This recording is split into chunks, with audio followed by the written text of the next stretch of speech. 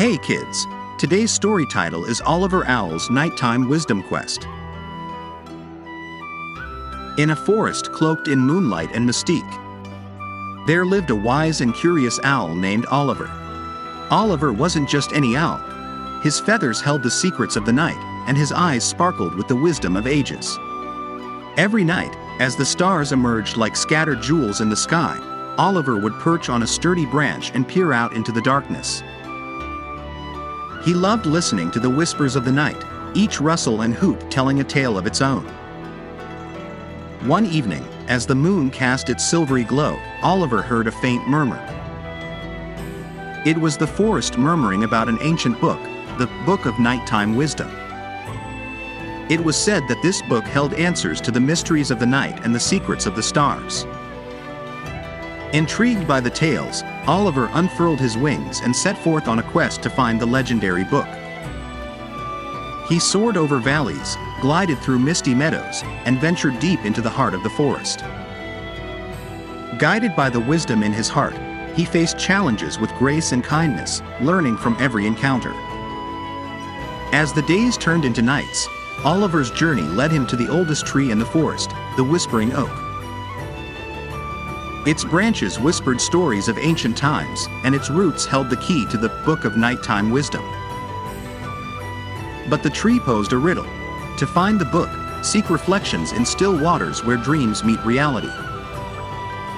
With the riddle etched in his mind, Oliver set off to find a tranquil pond where dreams danced on the water's surface. He waited patiently, watching as the moon painted a path of light on the pond. Suddenly, he saw it a reflection that shimmered like stardust, revealing the location of the elusive book. Guided by the moon's gentle glow, Oliver followed the path until he reached a hidden glade. There, bathed in moonlight, stood the Book of Nighttime Wisdom. Its pages rustled like leaves in the wind, and its words seemed to echo with the voices of the night. As Oliver opened the book, he felt a rush of insight fill his heart, each page held a story of courage, compassion, and the magic of the night. He read about constellations that formed tales of ancient heroes and shooting stars that granted wishes to those who believed. But the most profound lesson came from the final page. The truest wisdom lies not in knowing all, but in cherishing the mysteries that grace each night. Embrace the darkness, for within it, you'll find the brightest stars of your own journey.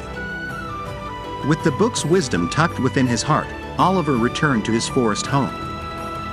As he perched on his favorite branch, he realized that the true magic of the night wasn't just in its secrets but in the journey of discovery itself. And so, in the forest adorned with moonlit dreams, Oliver Owl became the wisest sage of the night, sharing the tales of the Book of Nighttime Wisdom with all who wished to learn. His heart brimmed with gratitude for the lessons he had gained on his quest, and his eyes sparkled with the brilliance of understanding. Dear little dreamer, as you rest your head tonight, remember the story of Oliver Owl's nighttime wisdom quest. May it remind you that every journey, no matter how mysterious, carries the light of wisdom within it. Sweet dreams and moonlit adventures.